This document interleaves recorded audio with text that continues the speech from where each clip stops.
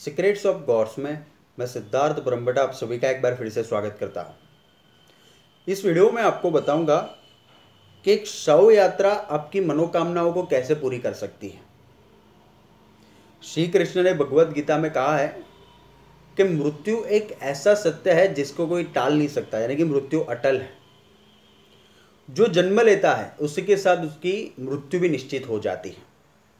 और मृत्यु के बाद आत्मा का पुनर्जन्म लेना भी निश्चित है। इस पर दो कंडीशन है। अगर आत्मा पूर्ण रूप से पुण्यशाली होती तो उसको मोक्ष मिल सकता है। अगर पुण्यशाली होती है तो कुछ समय के लिए वो स्वर्ग को भोगती है और बाद में भी उसको पुनर्जन्म तो लेना ही पड़ता है। तो ये सनातन सत्य है, इसको कोई टाल नहीं सकता। कई कबार हम शव यात्रा जब देखते हैं तो थोड़ा सा मन में हमें दुख होता है, खेद होता है। कई लोग थोड़े से डर जाते हैं। लेकिन इससे डरना नहीं चाहिए कभी भी, क्योंकि ये सनातन सत्य है। आप शव यात्रा को देख के कभी भी ना डरें।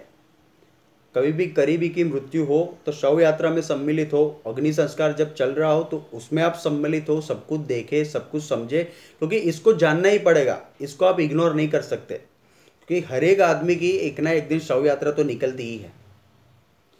हमारे शास्त्रों में कहा गया है कि जब भी शव यात्रा निकलती है तो उसको देखकर आपको प्रणाम करना चाहिए।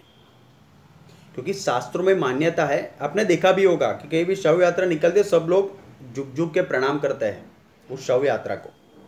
शास्त्रों में मान्यता है कि अगर आप शव यात्रा को देखकर तीन बार प्रणाम करते हैं और उसके साथ एक शब्द का, एक मंत्र का उच्चारण करता है, जो है शिव शिव तो उससे मृतक आत्मा को शांति मिलती है।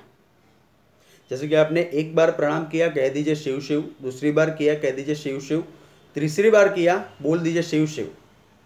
ऐसा बोलने से जो मृतक इंसान होता है, उसकी आत्मा, प्रणाम करने वाले इंसान के दुख, उसके दर्द और उसकी जो अशुभ, उसके जो लक्षण होते हैं, उसको अपने साथ ले जाती है। ऐसे समय में आप तीन बार प्रणाम करके आप कोई कामना का भी उच्चारण कर सकते हैं।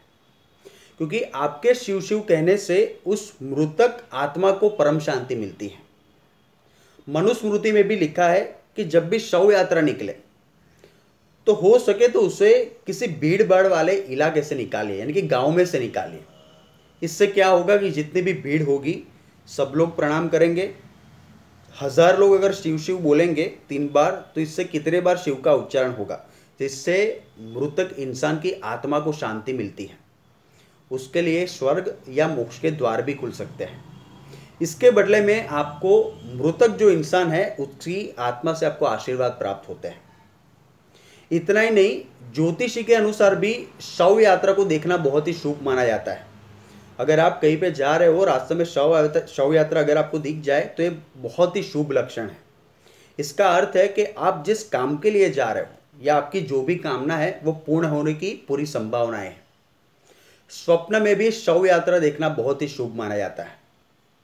तो जब भी आप शव यात्रा देखें तो विचलित ना हो, अच्छे से प्रणाम कीजिए, अच्छे से शिव शिव बोलिए, प्रार्थना कीजिए मृतक आत्मा के लिए कि उसकी आत्मा को शांति मिले, जिससे आपके भी जो भी दुख दर्द है, जो अशुभ लक्षण है, वो आत्मा उसके साथ ले जाती है।